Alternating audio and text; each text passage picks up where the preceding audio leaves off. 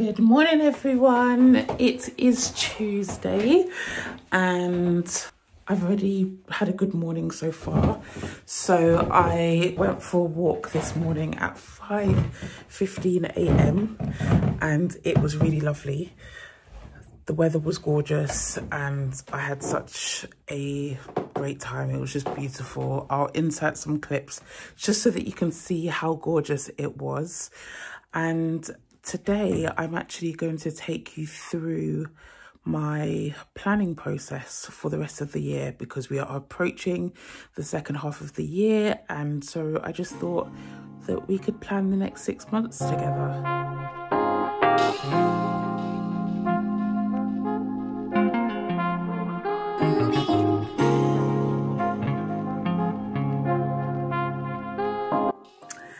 Good evening, everyone. It is much later on in the day. It just ended up being a really busy day, but I am determined to plan the next six months and get this done. So we are going to do that now. I've had a great productive day and I'm just excited to kind of get stuck into planning and to share you what my process is like. So we are going to plan the next six months. The first thing that we're going to do is actually do a review of the past six months. I I'm a firm believer that before you can move forward, you kind of need to look back and reflect on what has worked, what hasn't worked, and kind of just take some learnings from that. So I'm going to do that now and I will share with you some questions that I asked myself.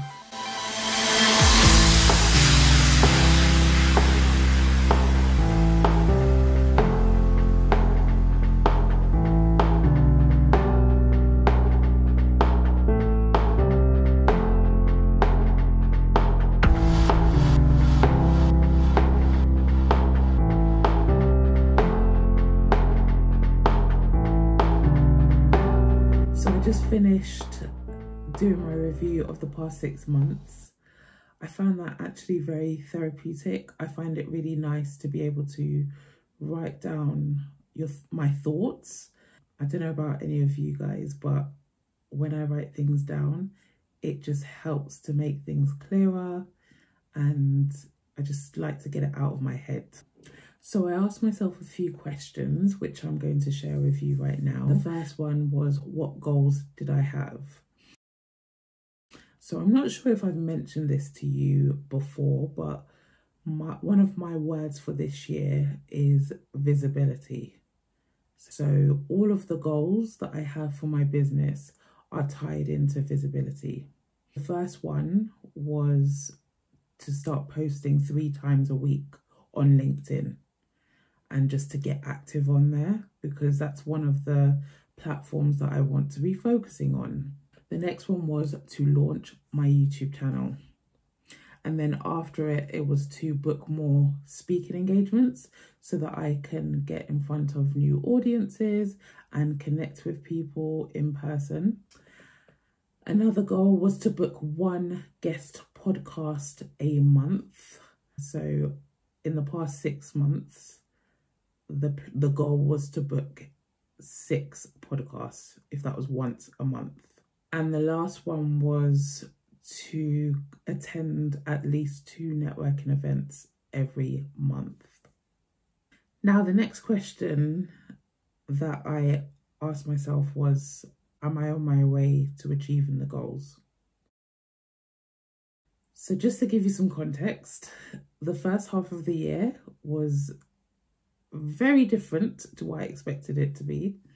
And the reason being is I had some health challenges. So I was smashing my goals. Um, I booked a speaking engagement at the beginning of the year where I was leading a networking workshop, which I shared in one of my previous vlogs. And I also booked a couple of guest podcast episodes and so I was on a roll and then I had some health challenges. So that kind of threw me off. So the first half of the year was completely different to what I expected it. But one thing that I learned was that's okay. we can make plans. I say this to my clients all the time. We can create a strategy, but life will always throw curveballs. And so we need to be prepared to adjust, to pivot, and figure out, okay, that's okay. Um, we have to adjust, but how are we going to still achieve this goal?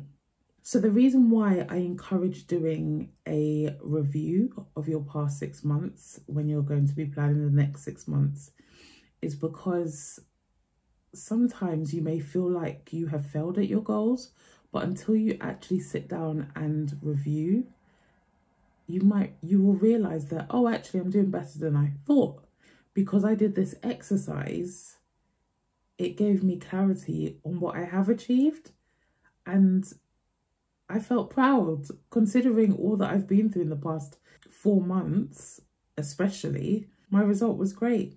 So I launched my YouTube channel, and that's why you can watch me now. I started posting on LinkedIn three times a week, and I've been consistent with that as well. Now, one thing to note I did launch my YouTube channel way later than planned.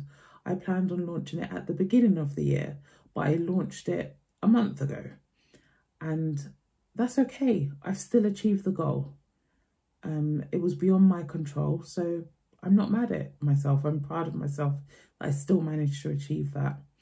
And the same with LinkedIn. I started posting, I think about, been about five or six weeks. So I started posting on LinkedIn just before I launched my YouTube channel. And I've been consistent with it. There are certain things that I want to start actioning when it comes to my LinkedIn, but I'm proud of the progress that I've done so far. Another thing that I've achieved is I booked some speaking engagements, not as many as I would have liked, but it was due to the fact that I had health challenges. So I was able to do the workshop and I also was invited for a panel event and both of those experiences were great. I really enjoyed them and I want to book more speaking engagements. So far, I have booked four guest podcast interviews.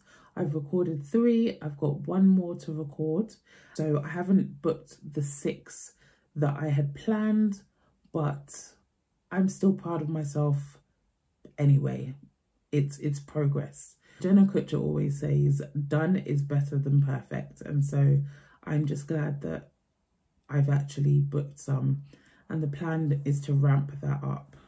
Now, I started off well when it came to networking events, but um, that has not gone as well recently. So that's something that I want to pick up for the second half of the year. I want to attend more networking events. I love connecting with people. And with the networking events that I did attend, I connected with a lot of people who I still speak to now. And I've just realized how much I appreciate in-person events and how much I've missed it. We got so used to just being online with COVID and that has served its perfect purpose and um, it was great and I'm always connecting with people online, but there's nothing beats connecting with people in, in person. That's what I think anyway. So the next question that I asked myself is what went well in my business in the past six months? And I would say the highlights are I launched my YouTube channel. I started posting on regularly on LinkedIn and engaging with people on that platform. I booked speaking engagements, which I really enjoyed, and that was great connecting with the audiences for for those events. And as a result of me doing all these visibility tasks, I started speaking more on my stories as well. Um, so I think all of those things have been great. As I've mentioned already, I had health challenges, so that really slowed me down. But one great thing that came out of that is it allowed me to just slow down and as a result, my brain just got sharper. I had so many creative ideas. I had so many strategic ideas that came to me about the business. I just have found a new excitement about the business, about the clients that I serve, about what I want to offer. And it there's power in slowing down. That's what it showed me. And so even though it wasn't something that was planned, I think it has been really beneficial. And it's just reminded me the importance of looking after yourself and not pushing yourself to the ground despite the challenges. And because I have a newfound energy and excitement, I am so excited for the next six months. I am really excited to see what I'm going to achieve and I can't wait for us to discuss at the end of December. I can't wait. Can't wait to share what the next six months has, has been like. Because of the kind of year that I had, I actually wouldn't do anything differently. I think I did exactly what I needed to do. I was right where I needed to be. I slowed down and because of that, it set me up to have a stronger second half of the year. And so I'm going to challenge you all to, yeah, make a note of all these questions and review your past six months. Once I've reviewed my goals from the past six months, I like to look forward and think about what success looks like in the next six, six months. At the end of the year, what goals do I want to have achieved by then? Because that will help me to revisit my goals and to amend any that need to be tweaked. I recommend creating three to four goals maximum you might have some goals from the past six months that you haven't fully achieved yet, so you can keep them on there. And you might have some that you've ticked off already. Whatever your goals are, should dictate what things you choose to pursue over the next six months. So I'm about to write on my wall planner and the first thing I start with when I'm planning the next six months is from a personal perspective. So, key dates, any birthdays, any anniversaries, if there's any events or conferences at church, any holidays or long weekends, that kind of thing. I start looking at that now. I'm a firm believer that we should schedule we need to schedule everything. So if I have a CEO weekend or week, I would write that in at this stage. The reason I do this is because when I go to now plan what I want to do, I want to make sure that I have blocked out all those personal times because it's very important. If, for example, there's a holiday or time with family, friends, that kind of thing, it's really important we block it out. I always say that if it's not in the calendar, it's not happening. And so the reason why I decided to do the personal stuff first is because we need to prioritize that. As much as we may have our businesses, we also have lives, and there's no point in building a business and then you have no one to, to enjoy life with. Also, it's just important so that we don't get burnt out. So it's very important that you look at the next six months and think, when do I want to take time off with my family, with my friends, with my loved ones? I would recommend getting a few different coloured pens and then assigning a colour to each category. Also, ignore this funny angle. It's the best way for me to be able to show you everything. I'm going to put you on a time lapse now as I write everything down.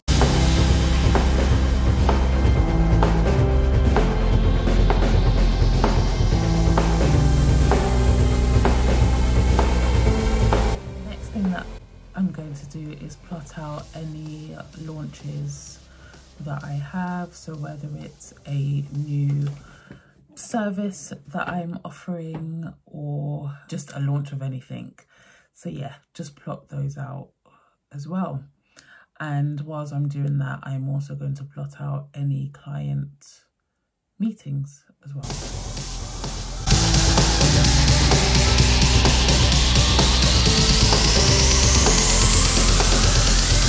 One thing that I will also recommend you add onto your calendar is if there are any networking events that you want to attend, I would recommend that you make a note of them and you add them. So that's something, I'm not going to do it now because there's quite a few, so I need to gather the information. So I would actually encourage you to gather the information so that you have it to hand so that when you are plotting everything out, you can just add it straight away. Then at least you know when you've got networking events and you can plan things accordingly.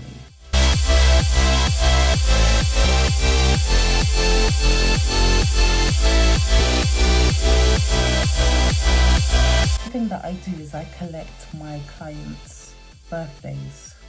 Um, and so that's something that I will add to the calendar as well. So if that's something that you do, add it to your calendar so that you have a reminder of when their birthdays are and if you want to do anything for them, you can plot it out in your calendar when you need to send things out to them.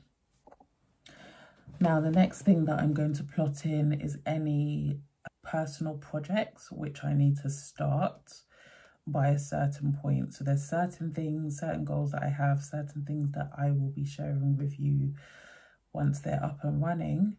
And I need to plot them out so that I just, as a reminder that you need to start this.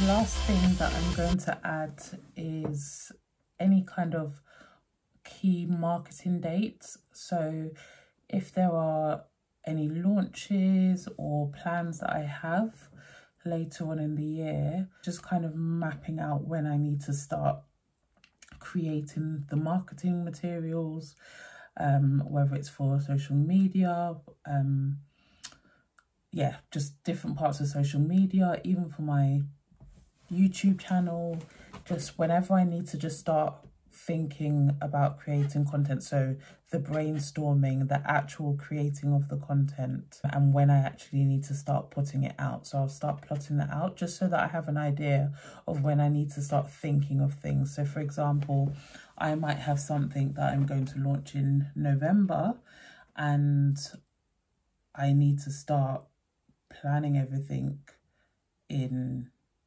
July, for example. And then I might start slowly sharing content from August. So I'm just slowly sharing content. But yeah, this is just to have an overview and an idea of, okay, what things should I start thinking about when it comes to brainstorming and when do I actually need to start creating the materials required. Um, the same thing if I've got a project that needs to be done. Like there's a project that I, I've got to work on where I've got to film some content, I've got to create some materials, and so I need to map that out.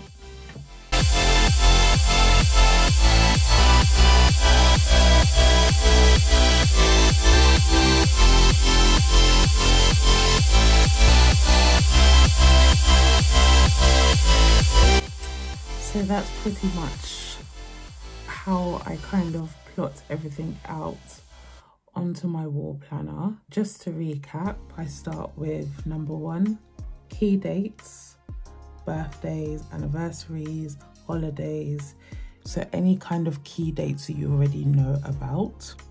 Number two is any launches, so new services or products or even longer projects where you're going to end up launching something at the end. Number three, business or networking events. So if you have the dates already, just plot them out. That's really helpful for anyone who has a YouTube channel because then you can also plan your content around these events as well. Number four is client birthdays. So if you collect your client birthdays, plot them out in your calendar. Number five is any personal projects. And number six is any key marketing dates. Oh, so this is tying in with your launches, your new products or services. So reverse engineer and figure out when you need to start creating your marketing materials and when you actually need to start promoting them. I hope that this has been very helpful for you. Thank you so much for watching. If you've managed to make it to the end of this video, I want you to drop a raised hands emoji in the comments below. Thank you so much for watching. Don't forget to like this video, to subscribe to my channel if you haven't done already, and share with anyone who you think will enjoy. Until next week, I'll see you then. So have a great week. Bye.